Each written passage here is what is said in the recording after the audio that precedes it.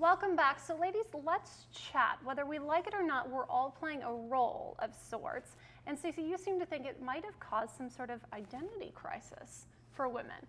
Yes, I've been, as I was sharing with you guys in the green room, I've been talking to a number of women, and we have so many roles. I like my use myself real quick. I'm a wife, I'm a mother, I'm an executive, I'm a mentor, I'm a public uh, servant, I have a job, Superwoman. I'm a teacher, I have, I mean, Huh. a daughter, all those things.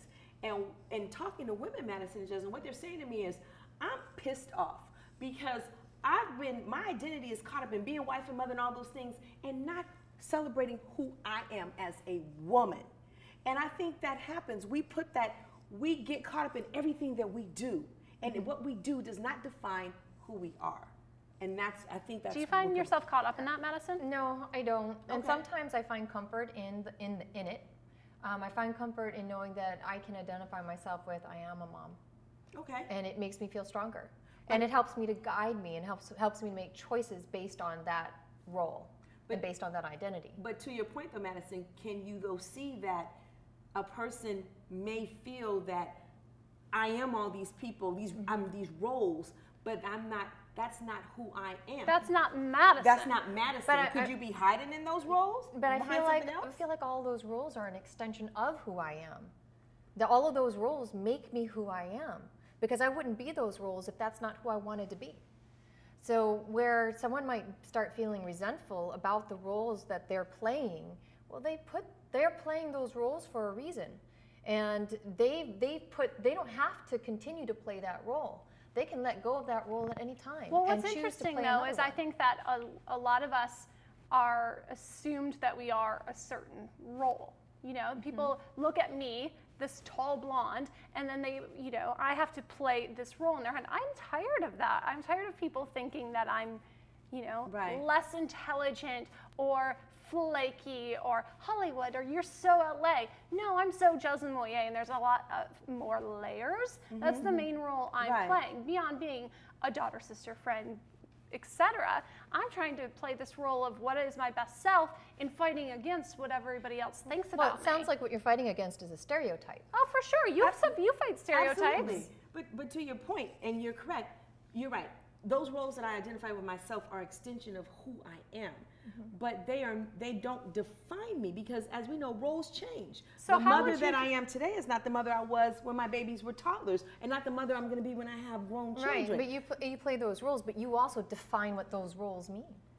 I, I do. Mm-hmm. But at the end of the day, before I had all those titles, I think what the women are saying to me, Stace, is before I have all those titles, I am a woman. Right, but before they had all those titles, they were kids. yeah. Do you know? But Right, you see where I'm going with I, this? I see where you're going with this. Uh, how do you maintain that role of I am Stacy? I am a woman, or Well, can you? I just got it. To be honest with you, I just really got it. And I'm throwing some people for a loop because they're like, wow, Stace, like, I didn't know, right? And What to do you that- mean, wow, it's Stacey, I didn't know? It's to that point. Because I was hiding behind so many things. I hid behind being a great wife. I hid behind being a great mom. But how are you hiding them? Because to me, those don't sound like things you hide behind. Yes, those sound you like oh, things most that definitely you, you can. What, if you don't deal with something that's going on with you, you will overcompensate and live vicariously through your children and your spouse. or but those, now yeah, today, those roles. I don't have a problem saying, you know what, Mama is not cooking tonight. Everybody work for themselves. I'm going to sleep. But isn't that also being? Isn't that also being a great mom?